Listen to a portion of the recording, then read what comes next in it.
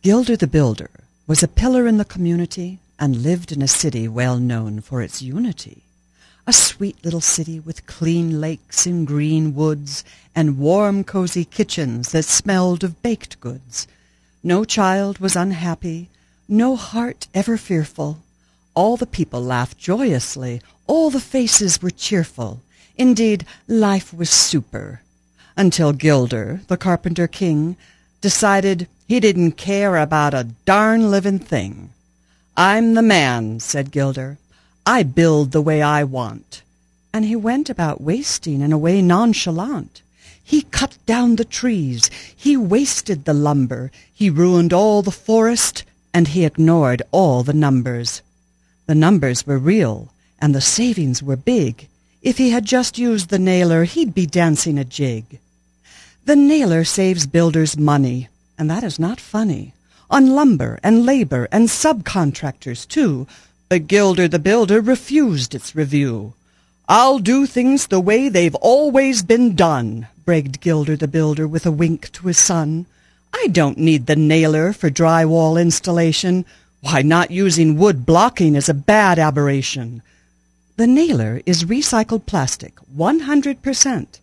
But Gilder didn't bother to think what that meant.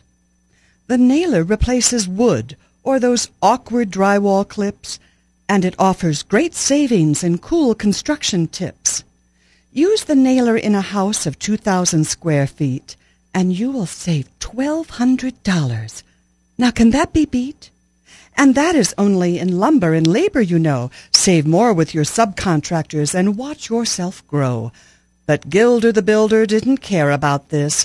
Gilder the Builder thought his ignorance was bliss. So he cut down the trees, and he wasted the wood, and he used it in places that nobody should. He thought green building products were dumb, and what the nailer could do was a ho-hum.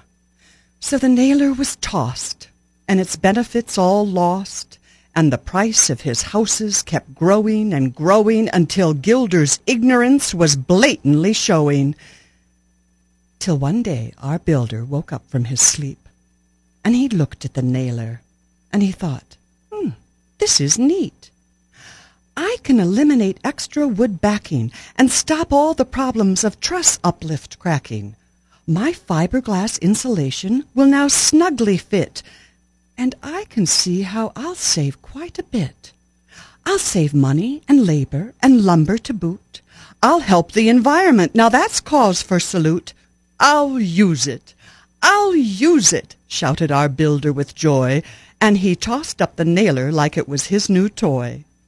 And now all the good people in Tacamaran live happily in their beautiful green land, and Gilder the Builder is called a wise man and lives honorably with the rest of his clan.